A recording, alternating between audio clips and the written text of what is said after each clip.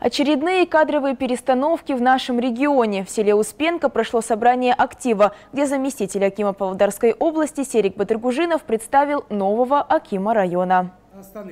По согласованию с администрацией президента и депутатами районного Масыхата распоряжением Акима Павлодарской области 40-летний Нурбулат Макашев назначен Акимом Успенского района. У него три высших образования на госслужбе 2007 года. С марта 2021 года по настоящее время занимал должность руководителя управления сельского хозяйства Павлодарской области.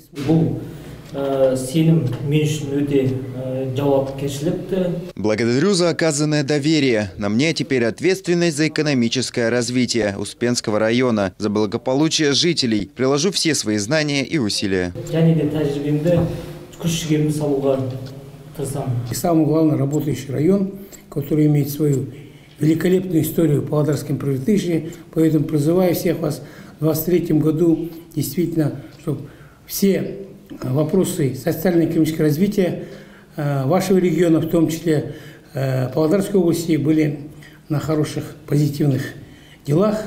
Э, Пожелаем успеха новому Акиму. Конечно, человек новый, все зависит, э, как вы сможете э, воплотиться, сплотиться вокруг него. Занимавший должность Акима Успенского района 57-летний Николай Дычко получил новое назначение. Он был представлен заместителем Акима области Сериком Батаргужиновым в качестве нового Акима Павлодарского района. Серик Батаргужинов поблагодарил Иржана Имансляма за работу на посту Акима Павлодарского района. Новый Аким района Николай Дычко родился в 1965 году в Кочетасской области, имеет два высших образования. Ему предстоит реализовать высокий потенциал своего региона.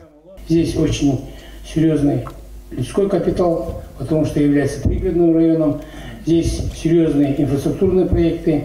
Здесь развито а, сельское хозяйство, в том числе молочное скотоводство, которое является поясом города Павлодара молочным.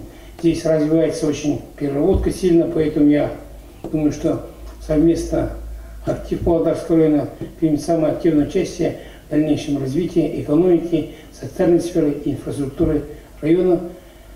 Хочу всех вас призвать к совместной работе. Пусть 23 год будет удачным как для района, области для каждой семьи. Николай Дачко с 2006 по 2018 годы занимал должности заместителя Акима города Экибастуз, руководителя управления индустриально-инновационного развития, заместителя Акима Павлодарской области, Акима города Аксу, заместителя председателя областного филиала партии Нуратан. Мурат Билмажет и это Сакпарат.